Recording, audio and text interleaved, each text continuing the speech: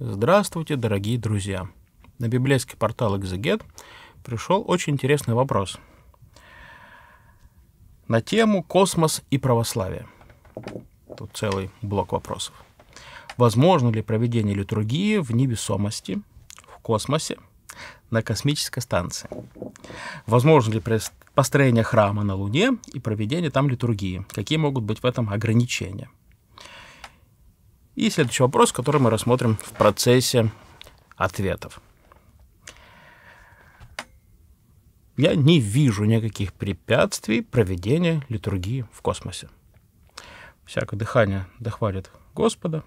Господь сотворил и космос, и невесомость, и гравитацию, и нас с вами, жителей космоса. Космос — это порядок.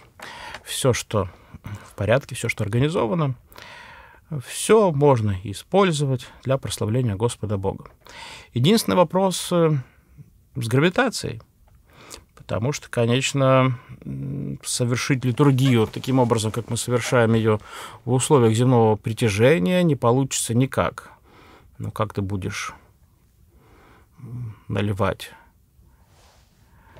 э, перед литургией в чашу вино, как ты будешь э, святой хлеб разрезать, все же разлетится, все эти крошечки, а как причащаться? Не в тюбиках же кровь Христова благословлять. Опять же, туда же налить вино для совершения таинства. Надо все равно в условиях гравитации.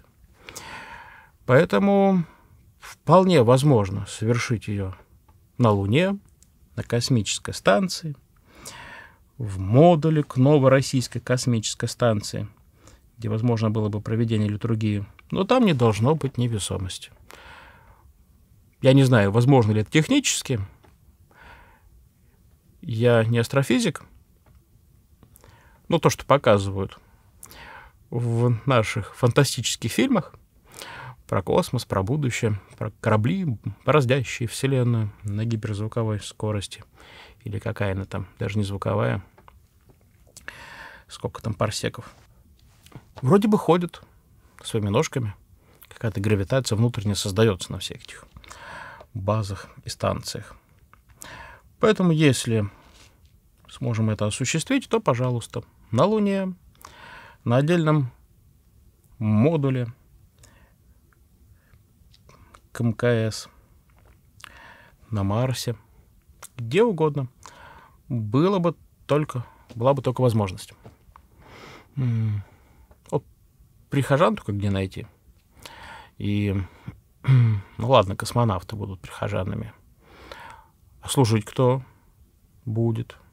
Ну, должен быть рукоположенный священник.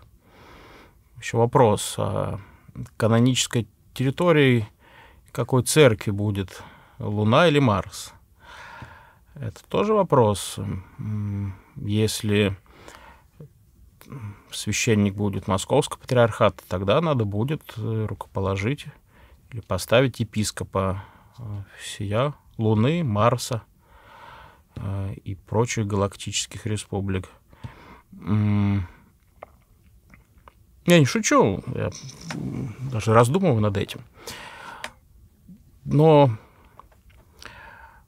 священник должен быть еще в невероятно хорошей физической форме, потому что так или иначе его надо туда отправить через все эти перегрузки, через все эти нагрузки, долго готовить к полету в космос. Мы и так не особо привыкли к тяжелой физической нагрузке, а то к перегрузкам. Это долгий путь, непростой. Опять же, будет священник один или несколько командирован надолго или навсегда. Тогда это должен быть монах. И вообще это смертельно опасно. Хотя там собираются Марс колонизировать в ближайшем будущем. Но когда это будет? Ну, можно, наверное, уже потихонечку готовить духовенство к кормлению колонизаторов Марса. Или Луны. Что там нас ждет в ближайшем будущем или не в очень ближайшем.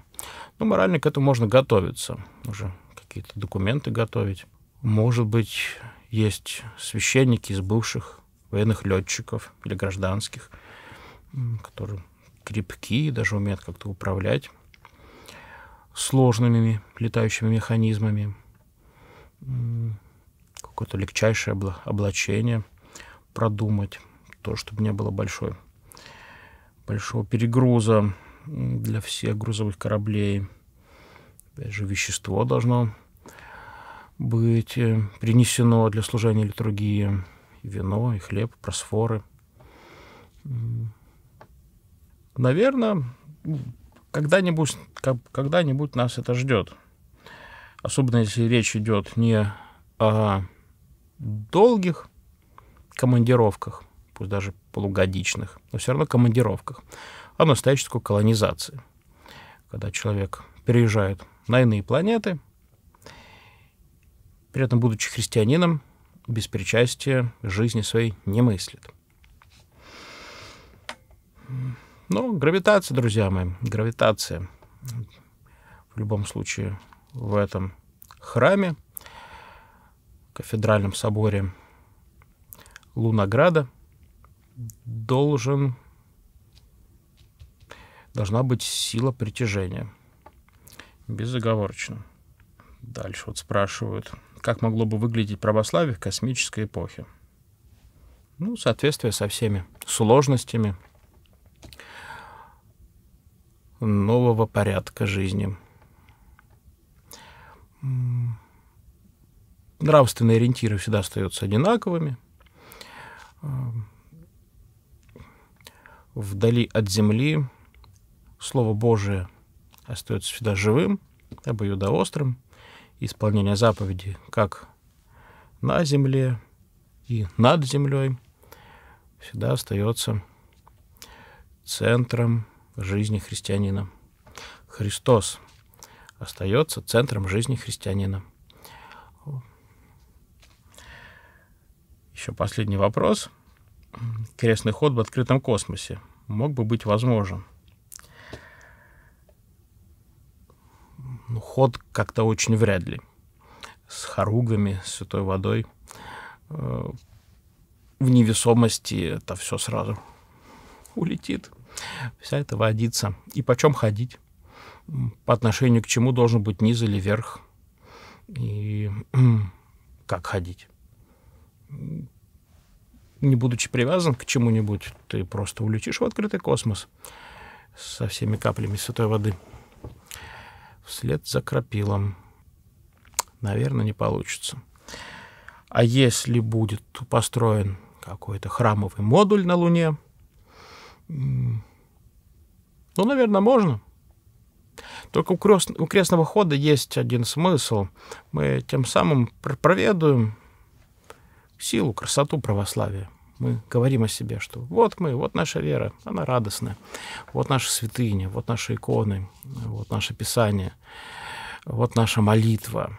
А в космосе-то кому проповедовать? Ну, разве что будет какая-то другая разумная форма жизни, и необходимо будет осуществлять какую-нибудь миссионерскую деятельность среди инопланетян, тогда крестный ход уместен, конечно. Ну вот точно не, лун, не на Луне и не на Марсе. И уж, как мне кажется, даже не в этом тысячелетии.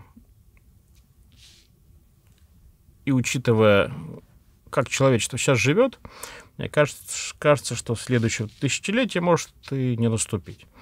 Мне кажется, страшный суд произойдет намного быстрее, нежели мы сможем путешествовать в другие галактики и находить там какую-нибудь разумную жизнь церкви нет, этот вопрос не догматизирован, есть ли жизнь на Марсе или нет. Даже святые отцы говорили, ну, даже если есть, ну хорошо, а нету, ну, тоже хорошо. Нас этот вопрос как-то не сильно волнует и на нашу, на нашу веру никак не повлияет. Ну, а вопрос, можно ли будет привести ко Христу иных существ, остается открытым. Опять же, почему их должны их мыслить антропоморфными? Они могут быть нематериальными, и общение между ними может быть совершенно не с помощью звуков. Есть на чем поразмыслить. Как бы там ни было, сколько бы лет, тысячелетий не существовала православная церковь, она всегда будет использовать и слушать призыв Христа. «Идите, научите вся языцы, научая их соблюдать все, что я заповедовал вам».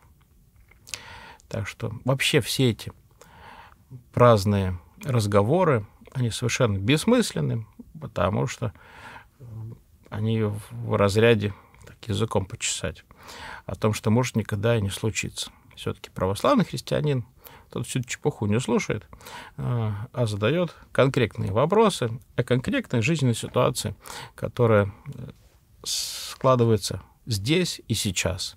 Поэтому вся такая лирика, а, а поговорить. Эм, но если когда-нибудь на Марсе или Луне будет много-много людей, я думаю, вопрос их окормления станет остро, и, может быть, кто-то будет говорить. А помните, священник Владислав полторы тысячи лет назад на портале Гизигет э, говорил, что все, можно и храм построить, и епископа руку, руку положить, а и священника отправить. Прозорливый был батюшка. Назовем какую-нибудь улицу в честь его. Так что, может быть, я и не зря всю эту чепуху говорю. Храните веру православную, друзья мои, в ней же наше утверждение. Внеси свой вклад, оцени, подпишись и поделись этим видео.